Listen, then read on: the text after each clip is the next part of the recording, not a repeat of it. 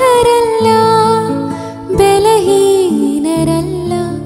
നീ കൂടെയുള്ളപ്പോൾ ഞങ്ങൾ. അനാഥത്വം. അതാരും തിരഞ്ഞെടുക്കുന്ന വഴിയല്ല. വിധിയെന്നോ ദൈവഹിതമെന്നോ അവയ്ക്ക് പേര് നൽകപ്പെടുന്നു. ഓരോ അനാഥത്വത്തിലും ഭാരപ്പെടേണ്ടത് നമ്മൾ ഓരോരുത്തരുമാണ്. അവരെ നോക്കേണ്ടത് നമ്മുടെ കടമയും.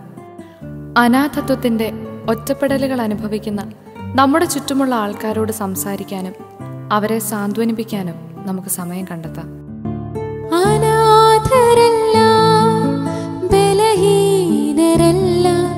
നീ കൂടെയുള്ളപ്പോൾ ഞങ്ങൾ